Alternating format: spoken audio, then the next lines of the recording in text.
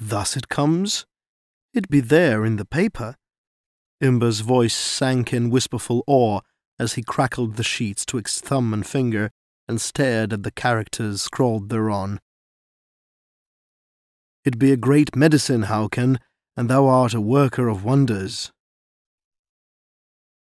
It be nothing, it be nothing, the young man responded carelessly and pridefully. He read at hazard from the document. In that year, before the break of the ice, came an old man and a boy who was lame of one foot. These also did I kill, and the old man made much noise. It be true, Imber interrupted breathlessly. He made much noise, and would not die for a long time. But how dost thou know, Howkan? The chief man of the white men told thee, mayhap. No one beheld me, and him alone have I told. Howkan shook his head with impatience.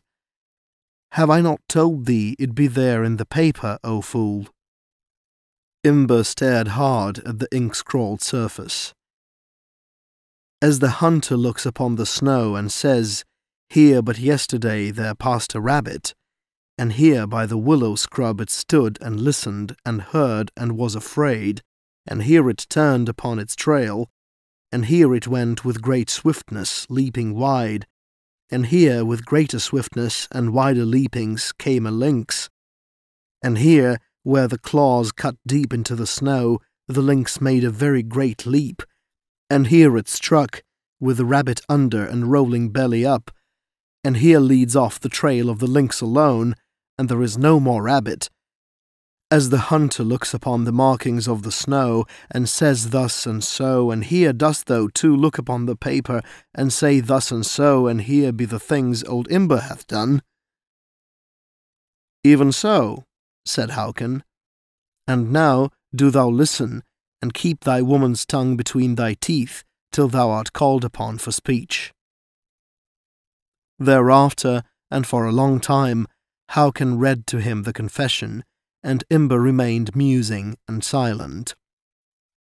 At the end he said, It be my talk, and true talk, but I am grown old, Howkan, and forgotten things come back to me which were well for the headman there to know.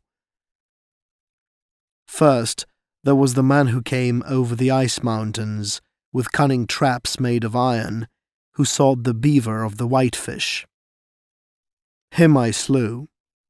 And there were three men seeking gold on the whitefish long ago. Them also I slew, and left them to the wolverines.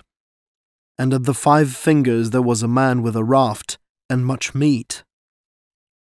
At the moments when Imber paused to remember, Howkan translated, and a clerk reduced to writing. The courtroom listened stolidly to each unadorned little tragedy, till Imber told of a red-haired man whose eyes were crossed, and whom he had killed with a remarkably long shot. Hell, said a man in the forefront of the onlookers. He said it soulfully and sorrowfully. He was red-haired. Hell, he repeated, that was my brother Bill and at regular intervals throughout the session, his solemn hell was heard in the courtroom. Nor did his comrades check him, nor did the man at the table rap him to order.